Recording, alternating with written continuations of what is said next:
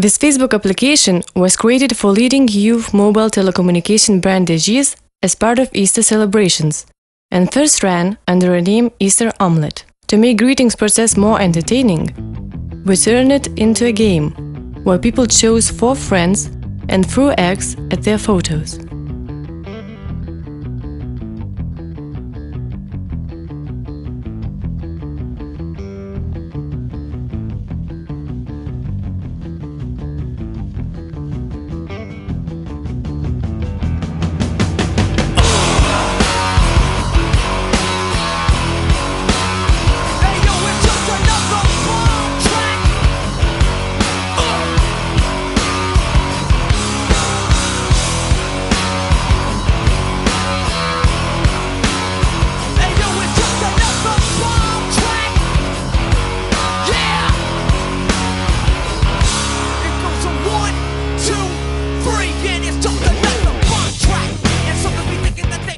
After the game, final picture with ex-Met portraits and greetings was put on those four friends' Facebook walls and was also added to their photo galleries.